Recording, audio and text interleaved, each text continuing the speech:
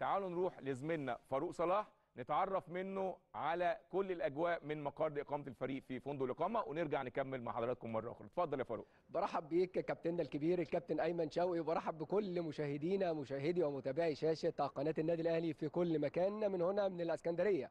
وبالتحديد مقر إقامة فريق النادي الأهلي وآخر استعدادات النادي الأهلي لمواجهة فريق الإسماعيلي في مباراة الجولة الثالثة لدوري رابطة الأندية المصرية المحترفة. واحدة من كلاسيكيات كرة القدم المصرية مواجهة الأهلي مع الإسماعيلي المباراة اللي هتقام على استاد الجيش ببرج العرب وهتنطلق في تمام الساعة السابعة بإذن الله. مباراة مهمة جدا وواحدة من المحطات الصعبة جدا دايما في مشوار النادي الأهلي في البطولات المحلية هي مواجهة فريق الإسماعيلي. يعني أقدر أقرب أقربك أكتر وأقرب كل جماهيرنا كابتن أيمن من الأحداث للنادي الأهلي واستعداداته لهذه المباراة. يعني عقب فوز الأهلي وصعوده إلى المباراة النهائية بعد التغلب على فريق إنبي بثلاثية نظيفة. يعني مستر مارسيل كولر استمر في التدريبات بلا راحة. استمر الفريق في أداء تدريباته على مدار الأيام الماضية.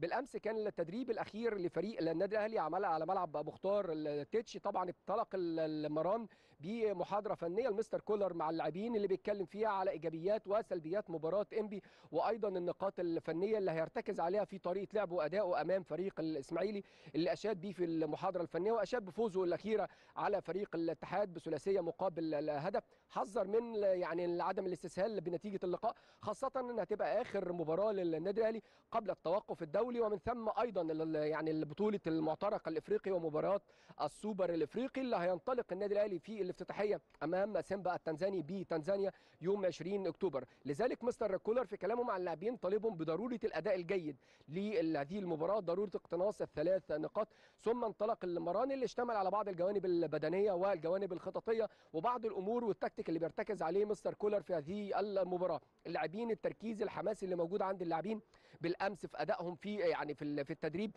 مستر كولر بعض الأمور الفنية اللي زي ما يباكد عليها مستر كولر يعني على جانب تخصصي شوية اشتغل مع بعض اللاعبين اشاد في المرحله الاخيره طبعا بالتسديد من خارج منطقه الجزاء للنادي الاهلي وعنده العناصر المؤهله في خط وسط النادي الاهلي لتحقيق الافضليه خاصه ان فريق الاسماعيلي فريق واحد من الفرق اللي يعني من الممكن يلعب ويقفل دفاع المنطقة على النادي الاهلي من خروج بالخروج بنقطه في هذه المباراه. لذلك يعني مستر كولر كان بيرتكز على بعض العوامل الهجوميه اللي يقدر من خلالها يحقق الانتصار في هذه المباراه. ثم عقب انتهاء التدريب اعلن مستر كولر قائمة للفريق النادي الأهلي لهذه المباراة. ثم طبعا استقل الفريق الحافلة والتوجه إلى مدينة الإسكندرية للمبيت بأحد الفنادق القريبة من ملعب المباراة. طبعا اليوم النهارده بالنسبة لفريق النادي كان انطلق في تمام الساعة الحادية عشر صباحا بوجبة الإفطار ثم فترة التدريبات اللي بتكون لمدة نصف ساعة في مقر إقامة فريق النادي الأهلي.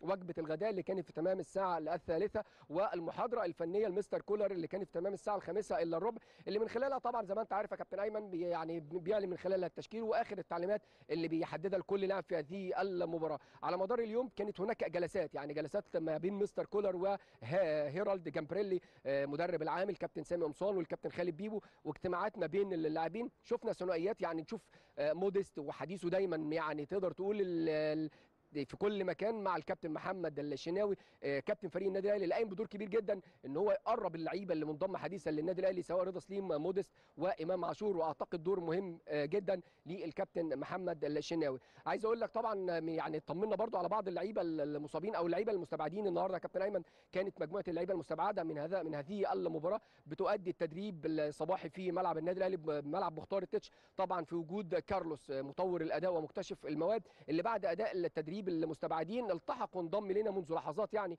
هنا في معسكر فريق النادي الأهلي يعني خلص التدريب صباحا في القاهرة ثم استقل السيارة وتوجه هنا إلى الإسكندرية أيضا للموجود مع فريق النادي الأهلي. الأجواء اللي إحنا لمسنا من اللاعبين عايز أطمنك أيضا على حالة اللعيبة المصابين اللي تقدر تقول يعني خلاص سريع يعني في الفترة القادمة. كريم ندفت صلاح محسن هيكون موجود مع فريق النادي الأهلي خلال المرحلة القادمة. طمنك أيضا على محمود متولي وعمرو السولية. طبعا النهارده بيعود للنادي الأهلي رضا سليم اللي واحد من الإضافات المهمة جدا موجود بطمنك أيضا على إمام عاشور. كانت بعض الاجتهادات قيلت إن في كدمه لإمام عاشور لكن خليني أكد لك جاهزيته لهذه المباراة. عايز أقربك من الجانب الآخر يا كابتن أيمن برضو لو وقت حضرتك اسمح بخصوص نادي الإسماعيلي واستعداداته لهذه المباراة بعد فوزه الأخير على فريق الاتحاد السكندري. فريق الإسماعيلي عايز أقول لك إن الكابتن إيهاب جلال اتكلم مع اللاعبين واشاد بفوزهم على فريق فريق الاتحاد في المباراة ال- الأخيرة وطالبهم بتحقيق نتيجة إيجابية أمام النادي الأهلي. يعني تقدر تقول بنسبة 99% التشكيل النادي الإسماعيلي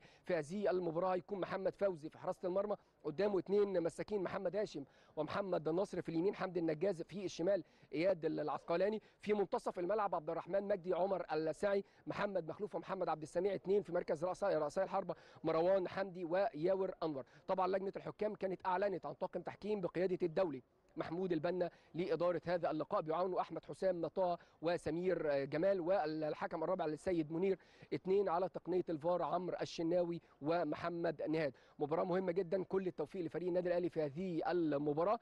من جديد تعود الكلمة للزميل العزيز الكابتن أيمن شوقي.